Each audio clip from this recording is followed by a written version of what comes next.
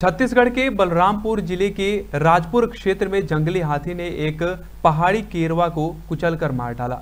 यहाँ दो दिन से 35 हाथियों का दल विचरण कर रहा है। हाथियों के दल से अलग होकर विचरण कर रहे आठ हाथियों के दल चिल्मा जंगल से सटे नर्सरी में पहुँच गए, जहाँ ग्रामीण को कुचल दिया। इलाके में हाथियों के आने से लोग दहशत में हैं।